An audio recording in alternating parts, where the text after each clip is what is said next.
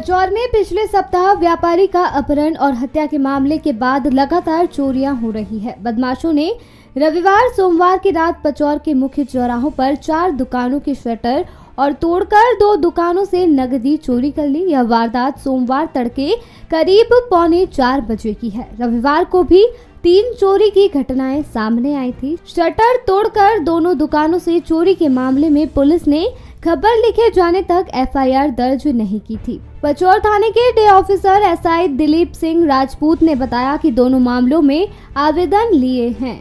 CCTV के मुताबिक सुबह पौने चार बजे बोड़ा नाका पर राजपूत, किराना एवं जनरल स्टोर में चोरी हुई। यहाँ ताले छटका कर चोरों ने दुकान के गले से नकदी निकाल ली। आवेदन के मुताबिक दुकान से पच्चीस हज़ार रूपए की नकदी चोरी हुई है। दुकानदार मनोज राजपूत के अनुसार पुलिस को सीसीटीवी फुटेज उपलब्ध करवा कर शिकायत की, लेकिन पुलिस ने सिर्फ़ आवेदन लिया है। बोड़ा नाका के दुकानदारों ने आरोप लगाया है कि बोड़ा नाका पर पुलिस ड्यूटी पर रहती है। यहाँ रात 12 बजे तक होटलें खुली रहती है। पहली बार डायल सौ वाहन ने रात साढ़े दस बजे ही दुकानें बंद करवा दी थी। उसके बाद सुबह पौने चार बजे चोरी की घटना हुई है। लोगों का आरोप है कि डायल सौ पर तैनात कर्मचारियों ने रात में यहाँ लोगों को नहीं बैठने दिया। इस कारण चोरी की घटना हुई है। सारंगपुर से क्राइम भाषी के लिए प्रदीप जैन की रिपोर्ट।